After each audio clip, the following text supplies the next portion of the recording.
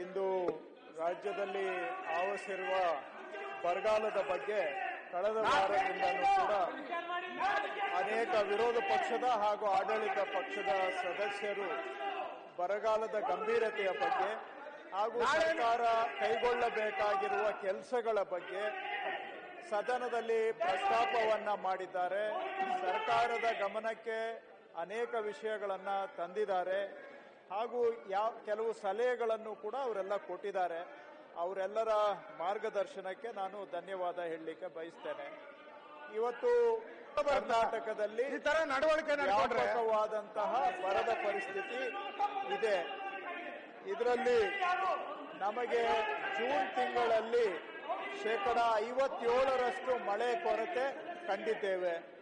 July ತಿಂಗಳಿನಲ್ಲಿ ವಾಡಿಕೆಗಿಂತ ಇಪ್ಪತ್ತೊಂಬತ್ತು percent ಹೆಚ್ಚು ಮಳೆ ಆಗಿದೆ. ಆದರೆ ಆಗಸ್ಟ್ಗೆ ಬಂದಾಗ ಸಮಸ್ಯೆ ಜಾಸ್ತಿ ಆಗಿದ್ದು ಅಲ್ಲೇನೆ. ವಾಡಿಕೆಗಿಂತ ಎಪ್ಪತ್ಮೂರು ಪರ್ಸ್, ಪ್ರತಿಶತ ಮಳೆ ಕಡಿಮೆ ಆಗಿದೆ. ಅದೇ ಸೆಪ್ಟೆಂಬರ್ನಲ್ಲಿ ಹತ್ತು ಪರ್ಸೆಂಟ್ ಕಡಿಮೆ ಆಗಿದೆ. ಅಕ್ಟೋಬರ್ನಲ್ಲೂ ಕೂಡ ಸ್ವಲ್ಪ ಮಳೆ ಕೊರತೆ ಗಂಭೀರವಾದಾಗಿ ಅರವತ್ತೈದು ಪರ್ಸೆಂಟ್ ಮಳೆ ಕೊರತೆ ಆಗಿದೆ. ಇದರ ಹಿನ್ನೆಲೆಯಲ್ಲಿ ಸಂವಿಧಾನಕ್ಕೆ ಅಪಮಾನ.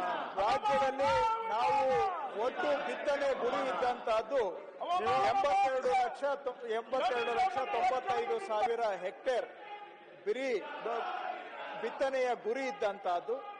ಅದರಲ್ಲಿ ಸುಮಾರು ಎಪ್ಪತ್ನಾಲ್ಕು ಲಕ್ಷ ಹೆಕ್ಟೇರ್ ಪ್ರದೇಶದಲ್ಲಿ ಬಿತ್ತನೆ ಆಗಿದೆ. ಅದರಲ್ಲಿ ಸುಮಾರು ನಲವತ್ತಾರು ಲಕ್ಷ ಹೆಕ್ಟೇರ್ ಪ್ರದೇಶದಲ್ಲಿ ಆ, ಕೃಷಿ ಬೆಳೆ ಹಾಗೂ ಎರಡು ಲಕ್ಷ ಹೆಕ್ಟೇರ್ ಪ್ರದೇಶದಲ್ಲಿ ತೋಟಗಾರಿಕಾ ಬೆಳೆ ಮಳೆಯಿಂದ ಕೊರತೆಯಿಂದ ಬಾಧಿತವಾಗಿದೆ ಅನ್ನೋದನ್ನ ನಾವು ಗಮನಿಸಿದ್ದೇವೆ. ಒಟ್ಟು ನಲವತ್ತೆಂಟು ಲಕ್ಷ ಹೆಕ್ಟೇರ್ ಪ್ರದೇಶದಲ್ಲಿ ಮಳೆ ಕೊರತೆಯಿಂದ ಬೆಳೆ ಬಾಧಿತವಾಗಿದೆ. ಇದನ್ನೆಲ್ಲವನ್ನು ಕೂಡ ಅವಲೋಕನ ಮಾಡಿ ನಾವು ಮೂರು ಹಂತದಲ್ಲಿ ಅಂದ್ರೆ ಮೊದಲನೇ ಹಂತ ಸೆಪ್ಟೆಂಬರ್ ಹದಿಮೂರನೇ ತಾರೀಕು ನೂರ ತೊಂಬತ್ತೈದು ತಾಲೂಕುಗಳಲ್ಲಿ ಬರವನ್ನ ಘೋಷಣೆ ಮಾಡಿದ್ದೇವೆ. ನೀವೆಲ್ಲ ರಕ್ಷಕರು. ಅಕ್ಟೋಬರ್ ಹನ್ನೆರಡನೇ ತಾರೀಕು ಘೋಷಣೆ ನೀವು ಯಾರು ಸಂವಿಧಾನವನ್ನ ಮೂರನೇ ಹಂತದಲ್ಲಿ ಅಗೌರವ ನೋಡಿದರೆ ನಾಲ್ಕನೇ ರಕ್ಷಣೆ ಮಾಡ್ತಾ ಇದೆ ಏಳು ತಾಲೂಕುಗಳು. ಒಟ್ಟು ಇನ್ನೂರ. ತಾಲೂಕುಗಳನ್ನ ಬರ ಘೋಷಣೆ ನಾವು ಮಾಡಿದ್ದೇವೆ. ಅದರ ಆಧಾರದ ಮೇಲೆ ಸೆಪ್ಟೆಂಬರ್ ಇಪ್ಪತ್ತೆರಡನೇ ತಾರೀಕು ಕೇಂದ್ರ ಸರ್ಕಾರಕ್ಕೆ ನಾವು ಮೆಮೊರಾಂಡಮ್ ಅನ್ನ ಸಲ್ಲಿಸಿದ್ದೇವೆ. ಅದಕ್ಕೆ ಪೂರಕವಾಗಿ ಎರಡನೇ ಮೆಮೊರಾಂಡಮ್ ಅನ್ನ ಅಕ್ಟೋಬರ್ ಇಪ್ಪತ್ತನೇ ತಾರೀಕು ಸಲ್ಲಿಸಿದ್ದೇವೆ. ನವೆಂಬರ್ ಹದಿನಾರನೇ ತಾರೀಕು ಮೂರನೇ ಮೆಮೊರಾಂಡಮ್ ಅನ್ನು ಕೂಡ ಸಲ್ಲಿಸಿದ್ದೇವೆ. ಒಟ್ಟು ಮೂರು ಮೆಮೊರಾಂಡಮ್ ಸೇರಿ ಒಂದು ಪ್ರಾಥಮಿಕ, ಎರಡು ಸಪ್ಲಿಮೆಂಟರಿ. ಸೇರಿದ್ರೆ ಹದಿನೆಂಟು ಸಾವಿರದ ಒಂದು ನೂರ ಎಪ್ಪತ್ತೊಂದು ಕೋಟಿಗೆ ಕೇಂದ್ರ ಸರ್ಕಾರದ ನೆರವನ್ನ ಎನ್ ಡಿ ಆರ್ ಎಫ್ ನಿಯಮಗಳಡಿ ಕೋರಿ ನಾವು ಕೇಂದ್ರ ಸರ್ಕಾರಕ್ಕೆ ಮನವಿಯನ್ನ ಸಲ್ಲಿಸಿದ್ದೇವೆ. ಕೇಂದ್ರ ಸರ್ಕಾರದ ಅಧಿಕಾರಿಗಳ ತಂಡ ಇಂಟರ್ ಮಿನಿಸ್ಟೇರಿಯಲ್ ಟೀಮ್ ಐಎಂಸಿಟಿ ಅಂತ ಕರೀತಾರೆ. ಅದು ಅಕ್ಟೋಬರ್ ನಾಲ್ಕರಿಂದ ಒಂಬತ್ತನೇ ತಾರೀಕಿನವರೆಗೆ ರಾಜ್ಯದ ಸುಮಾರು ಹದಿಮೂರು ಜಿಲ್ಲೆಗಳಲ್ಲಿ ಪ್ರವಾಸ ಮಾಡಿ, ಅವರು ಕೂಡ ತಮ್ಮ ವರದಿಯನ್ನ ಕೊಟ್ಟಿದ್ದಾರೆ. ಅವರು ರಾಜ್ಯದ ಹದಿಮೂರು ಜಿಲ್ಲೆಗಳಿಗೆ ಪ್ರವಾಸ ಮಾಡಿದ ನಂತರ ಮಾನ್ಯ ಮುಖ್ಯಮಂತ್ರಿಗಳನ್ನು ಭೇಟಿ ಮಾಡಿದ್ರು ಹಾಗೂ ಕ್ಯಾಬಿನೆಟ್ ಸಬ್ ಕಮಿಟಿಯನ್ನು ಕೂಡ ಭೇಟಿ ಮಾಡಿದ್ದಾರೆ. ಆ ಸಂದರ್ಭದಲ್ಲಿ ರಾಜ್ಯ ಸರ್ಕಾರ ಕೊಟ್ಟಿರುವಂತಹ ಮನವಿ ಮೆಮೊರಾಂಡಮ್ ವಸ್ತುಸ್ಥಿತಿಯಿಂದ ಕೂಡಿದೆ ಫ್ಯಾಕ್ಚುಯಲ್ ಆಗಿದೆ ರಿಯಾಲಿಟಿ ಇದೆ. ಇದು ರಾಜ್ಯ ಕೇಳಿರುವಂತಹದ್ದು ನ್ಯಾಯಸಮ್ಮತವಾಗಿದೆ. ನೀವು ತಯಾರು ಮಾಡಿರುವಂತಹ ಮನವಿ ಮೆಮೊರಾಂಡಮ್ ತುಂಬಾ ಕರಾರುವಕ್ಕಾಗಿ ಇದೆ ಅನ್ನುವಂತಹ ಅವರು ಒಪ್ಪಿಗೆ ಮಾತನ್ನು ಕೂಡ ಹೇಳಿದ್ದಾರೆ. ಮಾನ್ಯ ಅಧ್ಯಕ್ಷರೇ, ತಮ್ಮ ಗಮನಕ್ಕೆ ತರಲಿಕ್ಕೆ ಬಯಸ್ತೇನೆ. ಮುಂಗಾರಿನ ಅವಧಿಯಲ್ಲಿ ನಮ್ಮ ದೇಶದ ಅನೇಕ ರಾಜ್ಯಗಳಲ್ಲಿ ಮಳೆ ಕೊರತೆ ಉದ್ಭವ ಆಗಿದೆ. ಅದು ಅರುಣಾಚಲ್ ಪ್ರದೇಶ್, ಅಸ್ಸಾಂ, ಮಣಿಪುರ, ಮಿಜೋರಾಂ, ತ್ರಿಪುರ, ಜಾರ್ಖಂಡ್, ಬಿಹಾರ್, ಉತ್ತರ ಪ್ರದೇಶ್ ಹೀಗೆ ಮಹಾರಾಷ್ಟ್ರ, ಛತ್ತೀಸ್ಗಢ, ಕೇರಳ ಮತ್ತು ಆಂಧ್ರ ಪ್ರದೇಶ ಈ ಎಲ್ಲಾ ರಾಜ್ಯಗಳಲ್ಲಿ ಮಳೆ ಕೊರತೆ ಮುಂಗಾರಿನ ಅವಧಿಯಲ್ಲಿ ಕಂಡು ಬಂದಿದೆ. ಆದರೆ ಅವರು ನಾವು ಸೆಪ್ಟೆಂಬರ್ ಏನು ಹನ್ನ, ಹದಿಮೂರನೇ ತಾರೀಕಿಗೆ ಬರ ಘೋಷಣೆ ಮಾಡಿದ್ದೇವೆ. ತದನಂತರ ಒಂದು ತಿಂಗಳ ಕಳೆದ ನಂತರ ಆಂಧ್ರ ಪ್ರದೇಶದವರು ನೂರ ಮೂರು ತಾಲೂಕಿನಲ್ಲಿ ಬರ ಘೋಷಣೆ ಮಾಡಿದ್ದಾರೆ. ಅದಾದ ನಂತರ ಅಕ್ಟೋಬರ್ನಲ್ಲಿ ಮಹಾರಾಷ್ಟ್ರದವರು ಮಾಡಿದ್ದಾರೆ.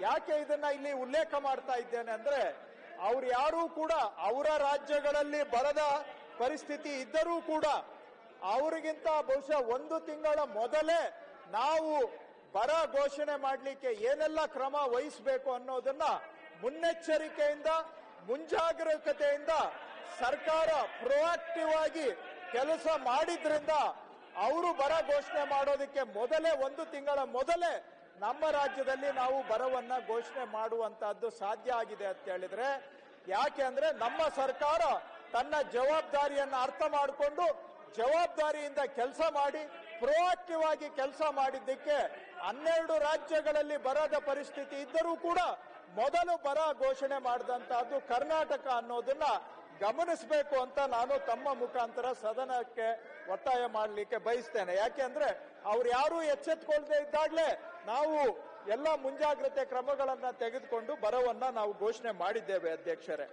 ಯಾಕೆ ಸಾಧ್ಯ ಆಯ್ತು ಅಂತ ಹೇಳಿದ್ರೆ ಮುಖ್ಯಮಂತ್ರಿಗಳು, ಮಾನ್ಯ ವಿರೋಧ ಪಕ್ಷದ ಸದಸ್ಯರು ಮಾತಾಡ್ತಾ ಹೇಳ್ತಾ ಇದ್ರು. ಸರ್ಕಾರ ಏನೇನ್ ಮಾಡಿದೆ ಅಂತ. ಮುಖ್ಯಮಂತ್ರಿಗಳು ಈ ಬರಗಾಲದ ಅವಧಿಯಲ್ಲಿ ಮೂರು ಏನು ಡಿಸಾಸ್ಟರ್ ಮ್ಯಾನೇಜ್ಮೆಂಟ್ ಅಥಾರಿಟಿ ಅಂತ ಇದೆ. ಅದರ ಮೂರು ಸಭೆಗಳನ್ನ ಮಾನ್ಯ ಮುಖ್ಯಮಂತ್ರಿಗಳು ಮಾಡಿದ್ದಾರೆ ಈ ಸಂದರ್ಭದಲ್ಲಿ. ಡಿಸಿ ಅವರ ಜೊತೆಗೆ ವಿಡಿಯೋ ಕಾನ್ಫರೆನ್ಸ್ ಅನ್ನ ಒಂದು ಮಾಡಿದ್ದಾರೆ. ಮತ್ತು ಇರುವ ಎಲ್ಲ ಜಿಲ್ಲಾಧಿಕಾರಿಗಳನ್ನ ಬೆಂಗಳೂರಿಗೆ ಕರೆಸಿ ಬರಕ್ಕೆ ಸಂಬಂಧಪಟ್ಟ ಹಾಗೆ ಏನೆಲ್ಲ ಮುಂಜಾಗ್ರತೆ ಕ್ರಮಗಳನ್ನ ತೆಗೆದುಕೊಳ್ಬೇಕು ಅಂತೇಳಿ ಬಹಳ ವಿಸ್ತೃತವಾಗಿ ಒಂದು ವಿಡಿಯೋ ಕಾನ್ಫರೆನ್ಸ್ ಒಂದು ಡಿಸಿ ಕಾನ್ಫರೆನ್ಸ್ ಮಾಡೋದರ ಮುಖಾಂತರ, ಮತ್ತು ಮೂರು ಡಿಸಾಸ್ಟರ್ ಮ್ಯಾನೇಜ್ಮೆಂಟ್ ಅಥಾರಿಟಿಯ ಸಭೆಗಳನ್ನು ಮುಖ್ಯಮಂತ್ರಿಗಳು ಮಾಡೋದ್ರ ಮುಖಾಂತರ ಸರ್ಕಾರದಲ್ಲಿ ಮುಂಜಾಗರೂಕತೆಯನ್ನ ಮೂಡಿಸ್ತಕ್ಕಂತ ಕೆಲಸವನ್ನ ಮಾಡಿದ್ದಾರೆ. ಅದಲ್ಲದೆ ನಮ್ಮ ಸರ್ಕಾರದಲ್ಲಿ ಬರೀ ಡಿಸಾಸ್ಟರ್ ಮ್ಯಾನೇಜ್ಮೆಂಟ್ ಅಥಾರಿಟಿ ಒಂದೇ ಅಲ್ಲ, ಕ್ಯಾಬಿನೆಟ್ ಸಬ್ ಕಮಿಟಿಯನ್ನು ಕೂಡ ಮುಖ್ಯಮಂತ್ರಿಗಳು ಕ್ಯಾಬಿನೆಟ್ ರಚನೆ ಮಾಡಿದೆ. ಯಾಕೆ ಅಂದ್ರೆ ವಾರಕ್ಕೊಮ್ಮೆ ಕ್ಯಾಬಿನೆಟ್ ಬರದ ಬಗ್ಗೆ ಚರ್ಚೆ ಮಾಡೋದಕ್ಕೆ ಅವಕಾಶ ಆಗದೆ ಹೋಗಬಹುದು. ಅದಕ್ಕೆ ಒಂದು ನಿರ್ದಿಷ್ಟವಾಗಿ ಅದೇ ಉದ್ದೇಶಕ್ಕೆ for the very purpose of disaster management ಒಂದು ಕ್ಯಾಬಿನೆಟ್ ಸಬ್ ಕಮಿಟಿ ಇರಬೇಕು ಅಂತೇಳಿ ನನ್ನ ಅಧ್ಯಕ್ಷತೆಯಲ್ಲಿ ಐದು, ಆರು ಸಚಿವರನ್ನ ಒಳಗೊಂಡಂತಹ ಸಚಿವ ಸಂಪುಟದ ಉಪಸಮಿತಿಯನ್ನ ರಚನೆ ಮಾಡಿ ಕ್ಯಾಬಿನೆಟ್ಗೆ ಇರುವಂತಹ ಬಹುತೇಕ ಅಧಿಕಾರವನ್ನ ಆ ಕ್ಯಾಬಿನೆಟ್ ಸಬ್ ಕಮಿಟಿಗೆ ಕೊಟ್ಟು ತೀರ್ಮಾನಗಳನ್ನ ತೆಗೆದುಕೊಳ್ತಕ್ಕಂತ ಅಧಿಕಾರವನ್ನು ನಮಗೆ ಕೊಟ್ಟು ಆ ಬರ ನಿರ್ವಹಣೆಗೆ ಹೆಚ್ಚಿನ ಶಕ್ತಿಯನ್ನ ತುಂಬುವಂತ ಕೆಲಸ ನಮ್ಮ ಸರ್ಕಾರ ಮಾಡಿದೆ. ಕ್ಯಾಬಿನೆಟ್ ಸಬ್ ಕಮಿಟಿ ಮಾನ್ಯ ಅಧ್ಯಕ್ಷರೇ, ಇಲ್ಲಿವರೆಗೂ ಎಂಟು ಸಭೆಗಳನ್ನ ನಾವು ಮಾಡಿದ್ದೇವೆ ಕ್ಯಾಬಿನೆಟ್ ಸಬ್ ಕಮಿಟಿಯಿಂದ ಇವರು ಕೇಳ್ತಾರೆ, ಸರ್ಕಾರ ಏನ್ ಮಾಡಿದೆ ಅಂತ. ಈ ಬಿಜೆಪಿ ಸರ್ಕಾರ ಇದ್ದಾಗ ಕ್ಯಾಬಿನೆಟ್ ಸಬ್ ಕಮಿಟಿನೇ ಇರಲಿಲ್ಲ. ಒಂದು ಕ್ಯಾಬಿನೆಟ್ ಸಬ್ ಕಮಿಟಿ ಮೀಟಿಂಗು ಆಗಿಲ್ಲ ಇವ್ರ ಕಾಲದಲ್ಲಿ. ಬರ ನಿರ್ವಹಣೆ ಆಗಲಿ, ವಿಪತ್ತು ನಿರ್ವಹಣೆಗೆ ಆಗಲಿ, ಒಂದು ಕ್ಯಾಬಿನೆಟ್ ಸಬ್ ಕಮಿಟಿ ಸಹ ರಚನೆ ಮಾಡ್ಲಿಕ್ಕೆ ಆಗದೆ ಹೋದವರು ಇವತ್ತು. ನಮ್ಮ ಸರ್ಕಾರದಲ್ಲಿ ಕ್ಯಾಬಿನೆಟ್ ಸಬ್ ಕಮಿಟಿ ಆಗಿರೋದು ಅಷ್ಟೇ ಅಲ್ಲ, ಎಂಟು ಕ್ಯಾಬಿನೆಟ್ ಸಬ್ ಕಮಿಟಿ ಮೀಟಿಂಗ್ಸ್ ಮಾಡಿದ್ದೇವೆ. ಇವರು ಯಾವ ಸೀಮೆಯವರು ನಮಗೆ ಬುದ್ಧಿ ಹೇಳಲಿಕ್ಕೆ ಅನ್ನೋದನ್ನ ನಾನು ಇವರಿಗೆ ಪ್ರಶ್ನೆ ಮಾಡಲಿಕ್ಕೆ ಬಯಸ್ತೇನೆ, ಮಾನ್ಯ ಅಧ್ಯಕ್ಷರೇ. ಮುಖ್ಯಮಂತ್ರಿಗಳು ಸಹ ಇದಕ್ಕೆ ಸಭೆಗಳನ್ನ ಮಾಡಿ ಸಮಯದಿಂದ ಸಮಯಕ್ಕೆ ನಮಗೆ ಸೂಚನೆಗಳನ್ನ ಕೊಟ್ಟಿದ್ದಾರೆ. ಮಾನ್ಯ ಅಧ್ಯಕ್ಷರೇ, ಇವತ್ತು ರಾಜ್ಯದಲ್ಲಿ ನಾನು ಆಗಲೇ ಕೃಷಿ ಬೆಳೆ ಬಗ್ಗೆ ಹೇಳಿದೆ. ಮುಂದುವರೆದು ಬಹಳ ಪ್ರಮುಖವಾಗಿ ಬರಗಾಲದ ಸಂದರ್ಭದಲ್ಲಿ ನಮ್ಮ ಮೇಲೆ ಜವಾಬ್ದಾರಿ ಬರ್ತಕ್ಕಂತಹದ್ದು ಈ ಕುಡಿಯುವ ನೀರಿನ ನಿರ್ವಹಣೆಯ ಬಗ್ಗೆ. ಇವತ್ತು ರಾಜ್ಯದಲ್ಲಿ ಒಟ್ಟು ಅಂತಹ ಭೀಕರ ಕುಡಿಯುವ ನೀರಿನ ಸಮಸ್ಯೆ ಇದೆ ಅಂತ ನಾವು ಹೇಳಲಿಕ್ಕೆ ಆಗೋದಿಲ್ಲ. ನಾನು ಬರೀ ಬಾಯಿ ಮಾತಿನಲ್ಲಿ ಹೇಳ್ತಾ ಇಲ್ಲ.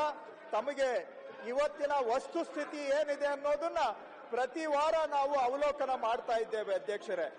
ಇವತ್ತು ರಾಜ್ಯದ ಒಟ್ಟು ಇಪ್ಪತ್ತಾರು ಗ್ರಾಮಗಳಲ್ಲಿ ನಾವು ಈ ಕುಡಿಯುವ ನೀರಿನ ಸಮಸ್ಯೆಯನ್ನ ಎದುರಿಸ್ತಾ ಇದ್ದೇವೆ.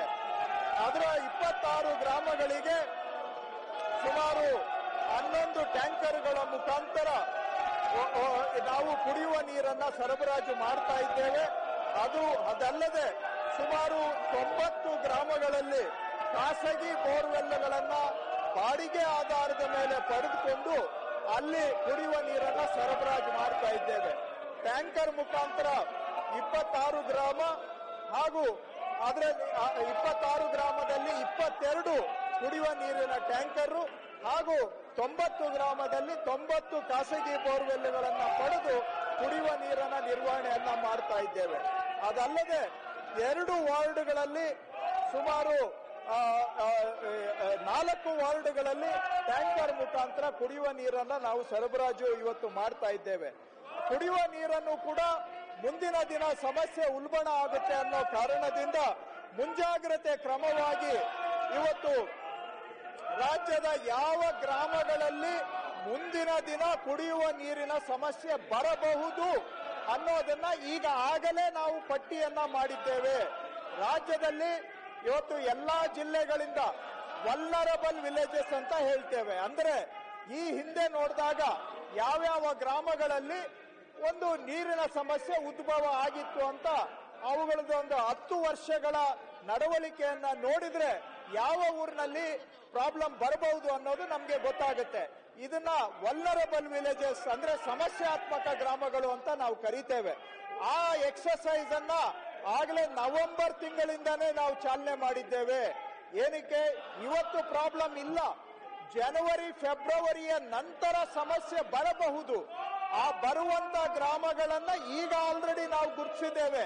ಸೊ ನಮ್ಮ ಸರ್ವೆ ಪ್ರಕಾರವಾಗಿ, ನಾವು ಮಾಡಿರುವ ಅಸೆಸ್ಮೆಂಟ್ ಪ್ರಕಾರವಾಗಿ, ರಾಜ್ಯದಲ್ಲಿ ಆರು ಸಾವಿರದ ಇನ್ನೂರ ಮೂವತ್ತ ಏಳು ಗ್ರಾಮ, ಆರು ಸಾವಿರದ ಇನ್ನೂರ ಮೂವತ್ತೇಳು ಗ್ರಾಮ ಸಮಸ್ಯಾತ್ಮಕ ಗ್ರಾಮಗಳು ವಲ್ಲರಬಲ್ ವಿಲೇಜಸ್ ಅಂತ ಈಗ ಆಗಲೇ ಗುರುತಿಸಿದ್ದೇವೆ.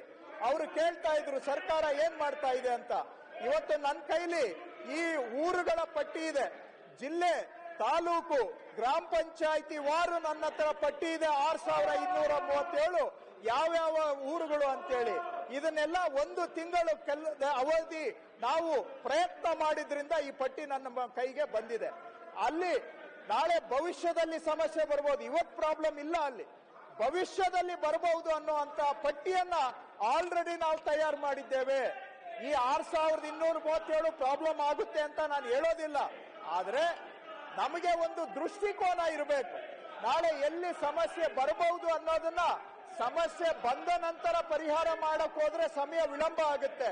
ಮನೆಗೆ ಬೆಂಕಿ ಬಿದ್ದ ಮೇಲೆ ಬಾವಿ ತೋಡಿದ್ರೆ ಸಮಸ್ಯೆ ಪರಿಹಾರ ಮಾಡ್ಲಿಕ್ಕೆ. ಆಗೋದಿಲ್ಲ. ಹಾಗಾಗಿ. ಸಮಸ್ಯೆ ಬರೋದಕ್ಕೆ ಮೊದಲೇ ನಾವು ಮುಂಜಾಗರೂಕತೆಯಿಂದ